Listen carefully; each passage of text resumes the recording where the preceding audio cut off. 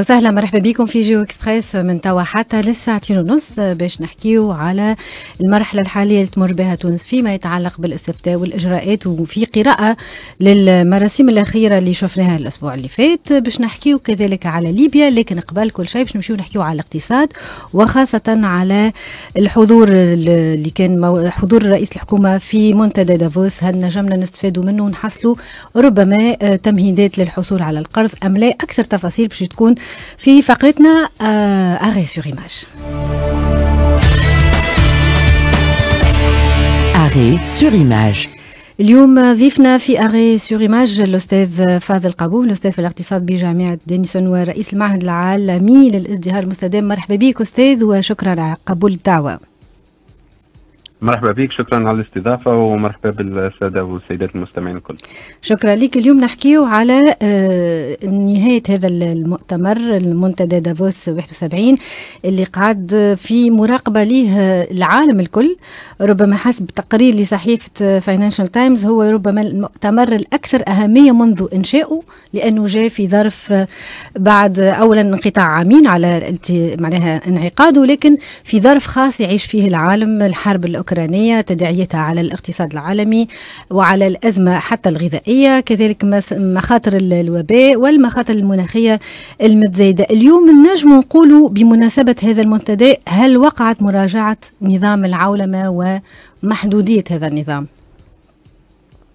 والله أول حاجة لازم نذكر بها أنه هذا المنتدى يعني تنظيمه مش منظم بالدول ولا منظم بالأمم المتحدة هذا تنظيم شركات خاصة م. يعني هذا منتدى رؤوس الأموال الكبرى في العالم يعني بالنسبة للمنتدى هذا مهم ياسر بالنسبة ليهم إنه يحافظوا على يعني قوة الشركات وقوة النظام الرأسمالي العالمي والنظام العالمي المفيد للرؤوس الأموال الكبرى م. يعني طبعا يعترفوا بوجود أزمات كبيرة وأزمات في يعني في في ميدان الصحة وفي ميدان الغذاء وفي الميادين هذه الكل.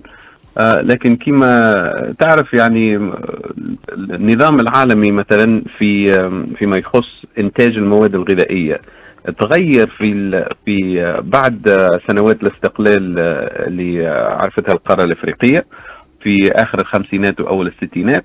والأزمة هذه الغذائية اللي نشوفوا فيها اليوم يعني متسبب منها هذا النظام العالمي اللي هو يركز على آه خمسة أقطاب آه عالمية اللي هي تنتج آه الماجوريتي نتاع القمح والذرة والمواد الغذائية الأساسية اللي هم أوروبا آه الاتحاد السوفيتي القديم اللي هو روسيا وأوكرانيا الولايات المتحدة الأمريكية والكندا في أمريكا الشمالية آه والصين واستراليا واليابان. هم هذم الدول اللي تحكموا في إنتاج آه القمح مثلا. زيدوا معهم شوية برازيل والأرجنتين.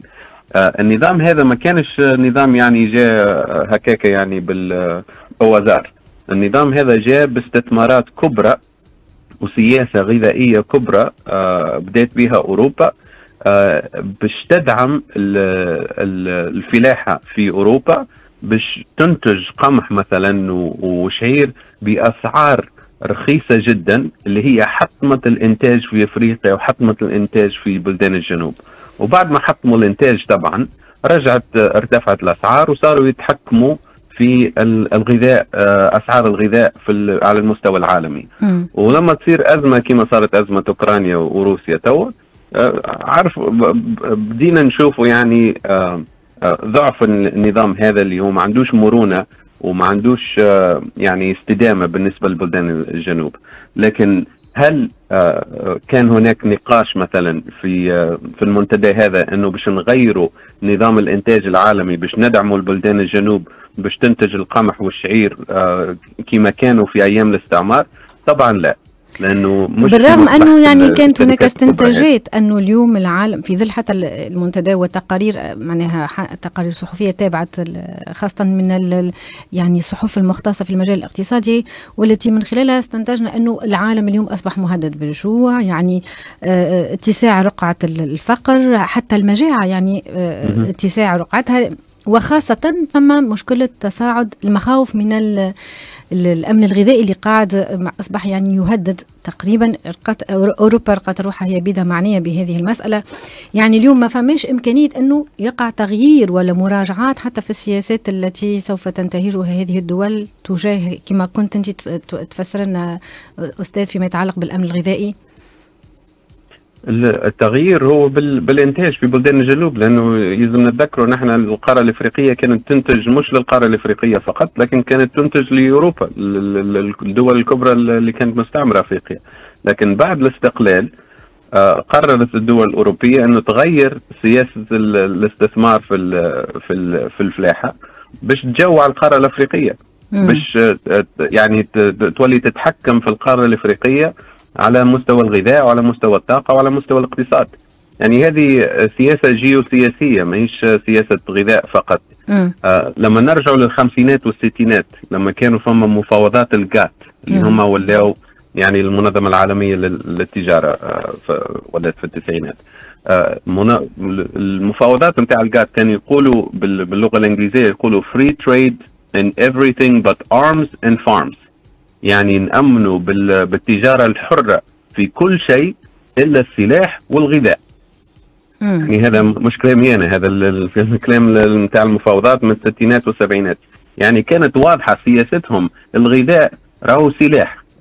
سلاح للدول الكبرى باش تتحكم في العالم. يعني وهذا ما يفسر ربما دائما المخاطر المناخية ما ياخذوهاش بعين الاعتبار وحتى يعني لليوم تبقى آه، من المواضيع التي يتم التطرق إليها لكن دون اتخاذ قرارات آه، مصيرية وهامة. فيما يفصل التغيرات المناخية الأمم المتحدة آه، عملوا rapport عنده توا عامين ولا ثلاثة اسمه The Production Gap. خرج ال rapport هذا من ال United Nations Environmental Program. ال Production Gap هذا ال rapport آه، واضح ياسر. عملوا rapport étude آه، باش يشوفوا ال production totale نتاع البترول والغاز اللي ناويين يستخرجوهم من البلدان نتاع العالم الكل. وعملوا comparaison نتاع ال production اللي هي فعلا يلزمنا ما نفوتوهاش.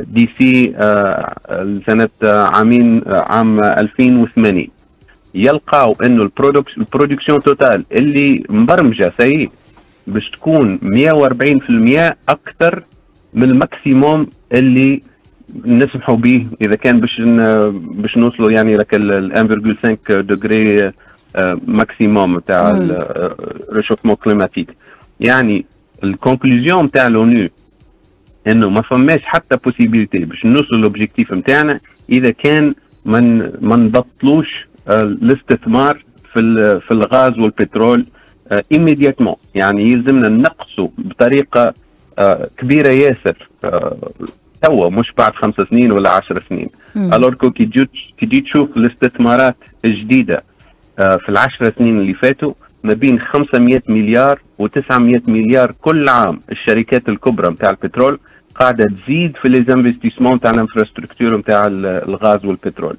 يعني حتى الحرب اليوم في دافوس يعني تكلموا على شيء هذا bien sûr ما تكلموش. مم. يعني كأنهم آه ما في بالهمش بال بال بال recherche scientifique ب les conclusions تاع آه l'ONU آه غير معنيين أكثر منهم ما في بالهم بالفعل.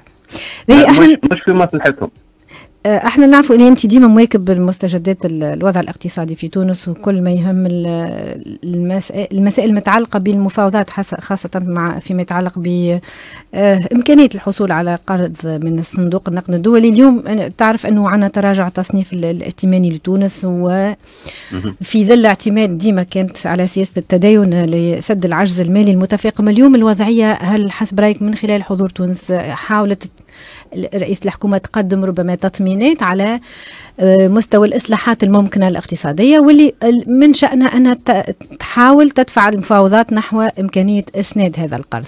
اليوم كيفاش تقرأ الوضعية الاقتصادية وفيما يتعلق خاصة ب آه، معناها موقف صندوق النقد الدولي من الوضعية الحالية في تونس؟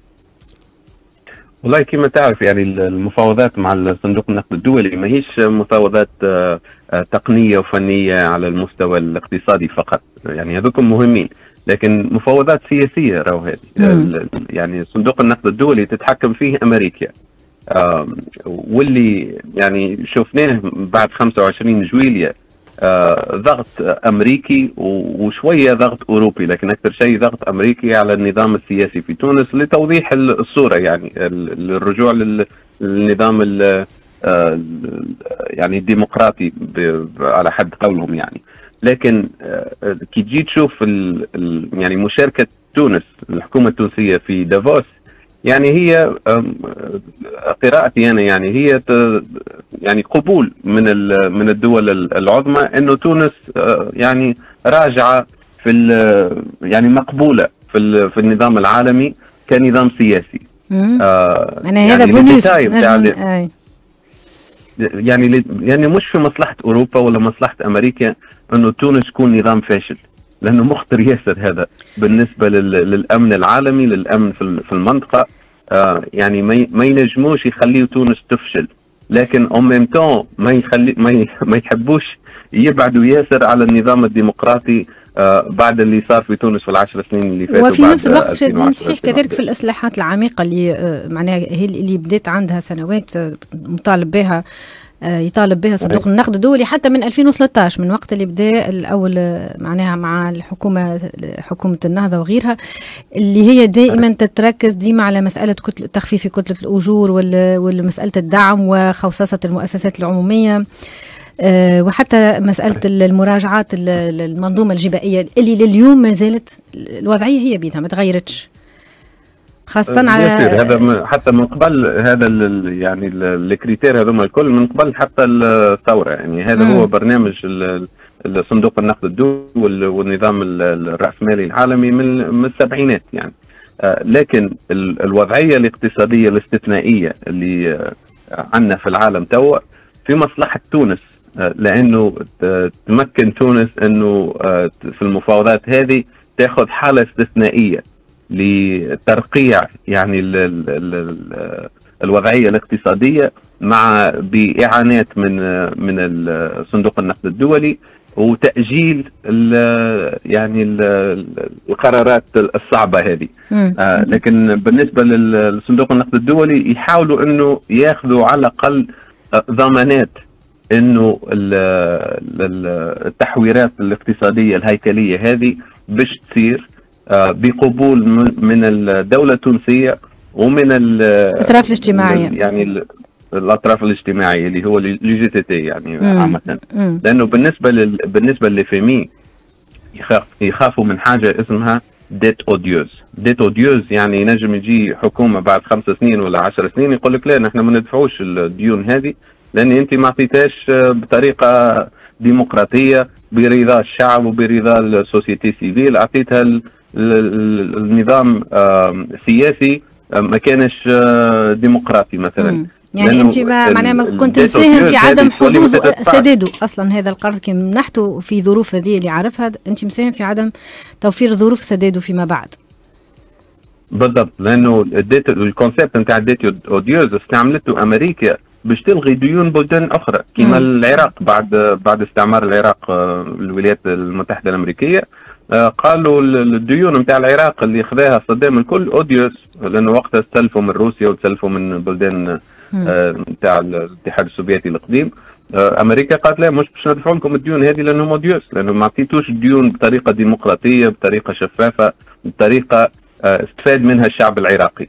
آه donc يعرفوا راهو هذا كلام مخطر ياسر نجم مليارات ما تدفعش dans le futur donc هذاك علاش يحبوا ما ما يعطيوا فلوس الا ما يضمنوا انه ال concept نتاع ال dette odieuse ما يتجبدش بعد خمسة سنين يقول لك أنتم كلكم تفهمتوا وقبلتوا الشروط هذه donc يلزمكم تدفعوا واضح شكرا لك الحاجة الاخرى اللي لازم نعرفوها أي. انه اذا كان تونس ولا حتى مش راهو مش نحن بركه فما بلدان اخرين توا داخلين في ازمه ديون ممكن ما ينجموش يدفعوا كما سريلانكا توا ما دفعتش آه بالنسبة للولايات المتحدة وأوروبا كي البلدان آه، الجنوب ما تدفعش. المشكلة راهي مش مشكلة راهي هما كهو لأنه المستثمرين اللي ما همش باش ياخذوا فلوسهم كلهم في اوروبا وفي أمريكا في بلدان الشمال. يعني م. بالنسبة لهم خسائر كبرى بالنسبة لهم آه تنجم يعني تتصاعد المشكلة تولي أزمة آه مالية عالمية. وذلك علاش هو قرار مصيري لنا وليهم. بالضبط بالضبط. شكرا لك أستاذ فاضل قبوب الأستاذ في الاقتصاد بجامعة دنيسون ورئيس المعهد العالمي للازدهار المستدام. بعد شوي باش نمشيو نحكيو على الوضع في ليبيا وحول المستجدات إمكانية الخروج من